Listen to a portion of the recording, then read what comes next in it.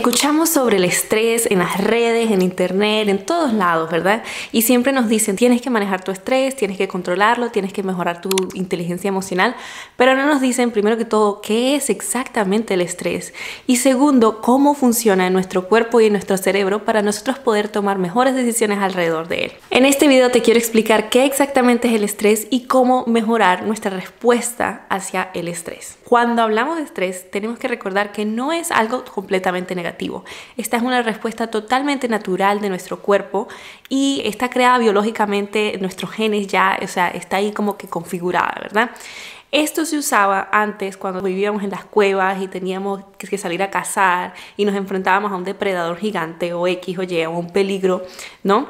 Este, esta respuesta lo que es el estrés nos mantenía salvos. Nuestro cuerpo se ponía como en autopiloto para evitar cualquier peligro. Esto se llama el flight or fight response o la respuesta de volar o pelear o, o combatir contra el elemento o la situación o el depredador que tenemos enfrente. Como ya dije, es una respuesta totalmente natural y saludable para el cuerpo porque esto nos mantiene como prendidos, nos mantiene motivados, nos mantiene eh, en la regla, ¿no? Pero el problema viene cuando no sabemos bajarle o cuando empezamos a percibir estresores o percibir ese peligro en maneras demasiado grandes o que todo nos causa un peligro o que nos sentimos que perdimos el control que en este tipo de sociedad que vivimos, por ejemplo, tenemos toda la globalización, tenemos que trabajar, tenemos que estudiar, tenemos que encargarnos de muchas cosas y el cuerpo obviamente no se programó para este tipo de estresores. Por ejemplo, tu jefe no es un depredador, pero puede activar la respuesta de flight or fight, aún así no tenga dientes grandes. Entonces, ¿cómo sabemos que estamos estresados? No es simplemente un tema psicológico, sino también de nuestro cuerpo y también tiene un impacto en las acciones que tomamos. Acuérdense que nuestra nuestras acciones no están derivadas simplemente de la nada, de que nuestro cerebro nos dijo ve a comer una galleta. No, nosotros tenemos que pensar en algo primero, luego ese pensamiento desencadena una emoción, en este caso puede ser estrés, ansiedad, tristeza, etcétera, etcétera, y esa emoción nos va a llevar a actuar dependiendo a lo que nos enfrentemos. Muchos años atrás, el señor Lazarus, que era un psicólogo, salió con esta eh, teoría del estrés, que dijo que el estrés no es nada más sino percepción del individuo, o sea, cómo percibimos nosotros el evento, la persona, el problema, etcétera, etcétera. Esa percepción es muchísimo más importante que la situación ya normal. Por ejemplo, para mí puede ser muy estresante eh, ir tarde al trabajo porque ya sé que mi jefe me dijo tres veces que la próxima vez que llegue tarde me va a votar y voy a perder mi trabajo. Entonces, perder el tren o perder el autobús para ir al trabajo puede ser una cosa catastrófica. Mientras para otra persona que quizás sea su propio jefe o no tengan que estar en ningún lado a X hora, ese mismo estresor como perder el tren o perder el autobús puede significar una cosa como que totalmente pequeña. No, ni siquiera te va a activar el flight or fight response, ni siquiera te va como que poner a pensar. Entonces esto aplica con todo en la vida. También es importante destacar que cada persona es diferente y cada persona tiene su propia tolerancia hacia el estrés. Nosotras las mujeres tenemos un poco menos de tolerancia al estrés que los hombres porque si estamos hablando de cosas biológicas, imagínense quién iba a casar antes, ¿ok?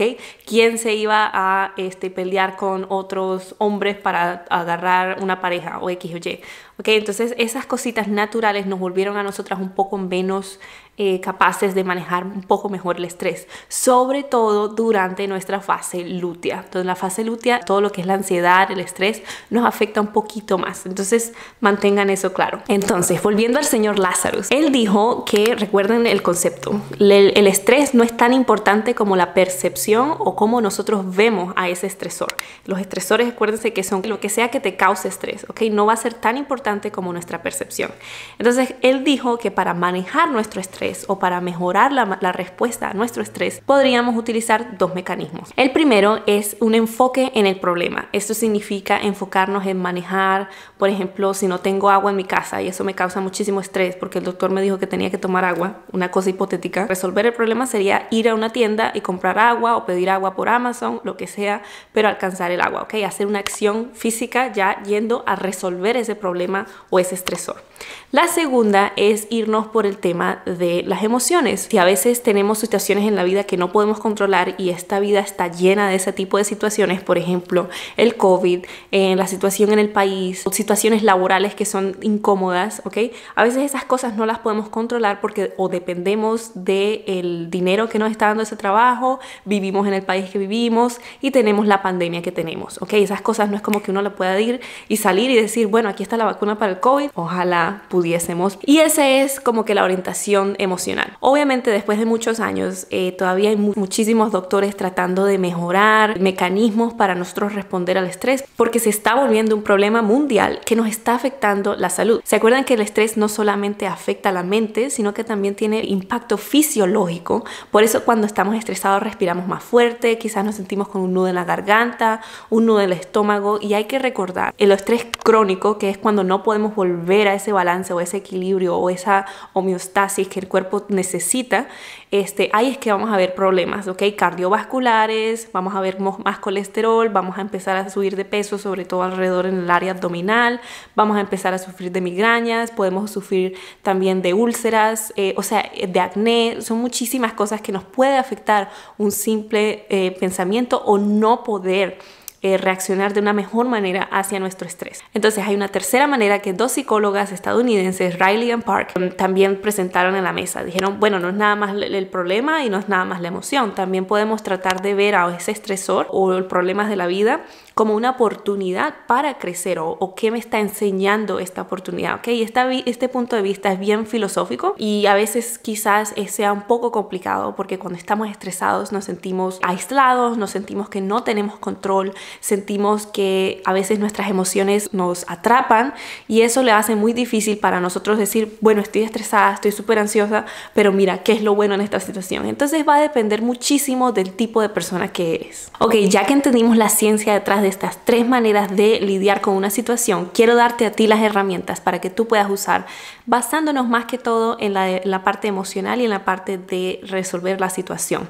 Vamos a comenzar con resolver la situación. El primer paso siempre va a ser respirar. La respiración es súper importante, más que todo cuando estamos estresadas, porque ya como les conté, el estrés no solamente nos impacta en la mente, sino también a nivel fisiológico. Y si logramos que nuestras respuestas fisiológicas con el estrés puedan reducirse o bajarse, la mente nos va a seguir porque va a decir, bueno, el cuerpo se está calmando, vamos a calmar la mente también. Acuérdense que no podemos deconstruir o como que quitarle el, impacto que o esa conexión que hay entre la mente y el cuerpo. La mente y el cuerpo son dos entidades que están súper conectadas. Entonces, cuando le damos algo a una, la otra también va a seguir. Cuando comemos saludable, no solamente es nuestro cuerpo que se beneficia, también nuestras emociones. Entonces, cuando respiramos, especialmente si tomamos respiración diafragmática o respiración rítmica, podemos mejorar la respuesta fisiológica del estrés y podemos tomar mejores decisiones, ¿ok? Porque como que le damos un cool down al cerebro. La segunda cosa es preguntarte cómo pasó o cómo llegué aquí o qué está pasando a mi alrededor. Cuando tratamos de tomar la vía orientada al problema, siempre tenemos que tratar de usar la lógica.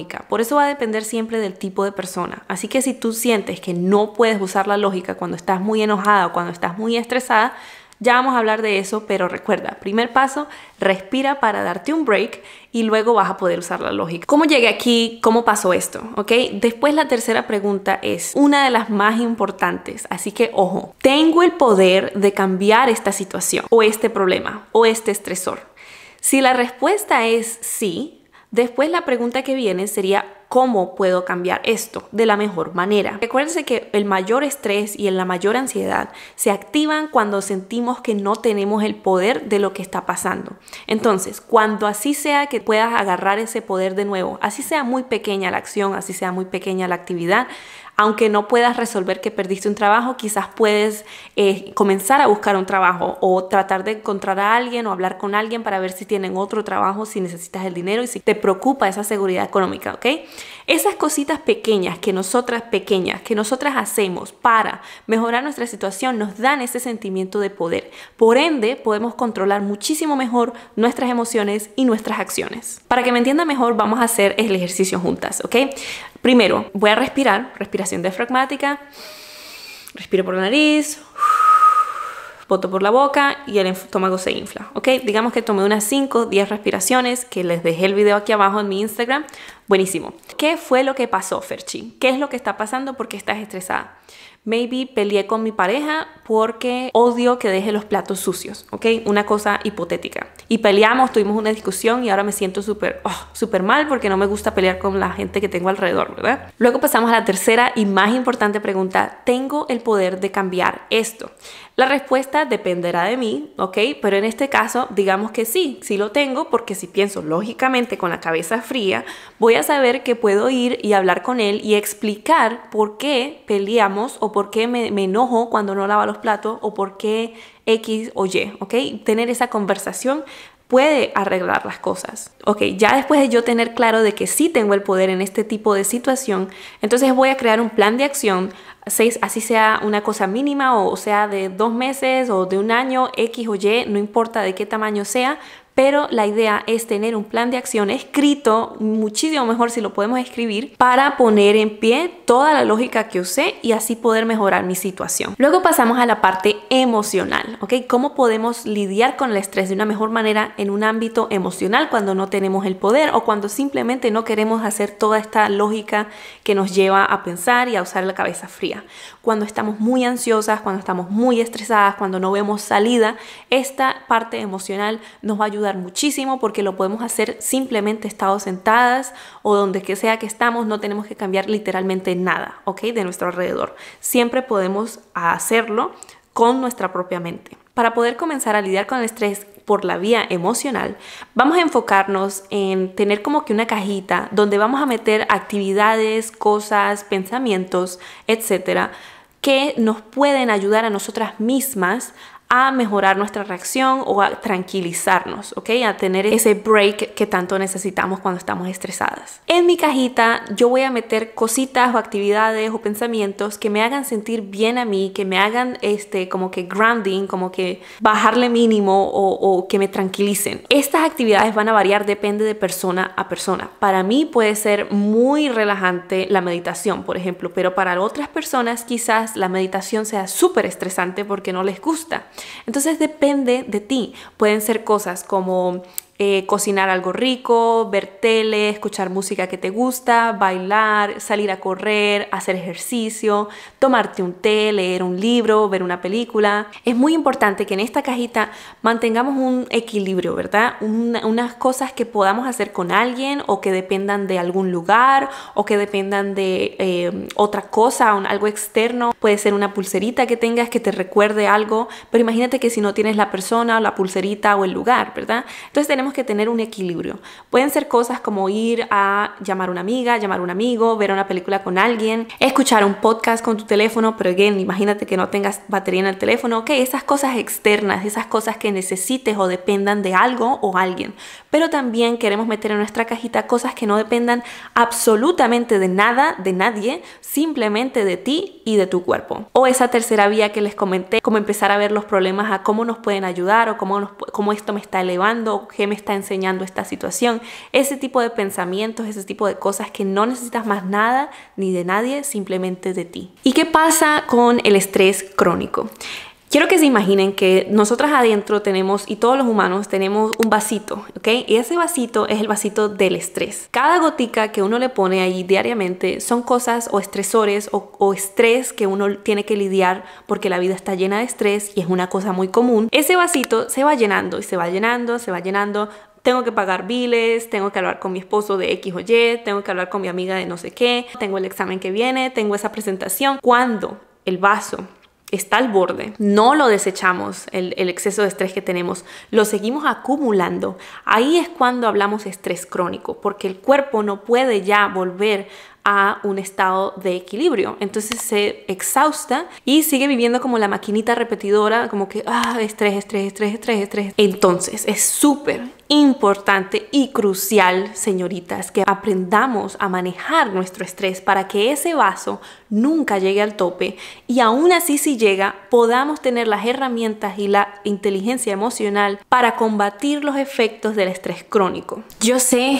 que no es fácil, yo sé que manejar el estrés es un tema que lleva mucha, mucha capacitación capacitación, capacitación mental, mucho empeño, ¿ok? Mucha sabiduría, mucha tranquilidad, mucha madurez pero es súper importante que lo comencemos a manejar desde ahora. Cuando sabemos manejar mejor el estrés, vamos a poder tomar mejores decisiones para nuestra vida, para nuestras familias, para nuestras sociedades, también para nuestra salud. Es muy fácil cuando estamos estresadas ir y agarrar el ponquecito de chocolate o la fritura o las papitas o la soda o las cositas, porque recuerda que nuestras emociones, nuestros pensamientos y nuestras acciones están interconectados. Así que espero que puedas poner esta información en práctica para entender un poco de los procesos biológicos y químicos que pasan en nuestro cuerpo, qué nos dice la ciencia sobre cómo mejorar nuestra respuesta al estrés y qué hacer en situaciones de estrés para que así puedas comenzar a tomar mejores decisiones, puedas comenzar a tener el control de tu vida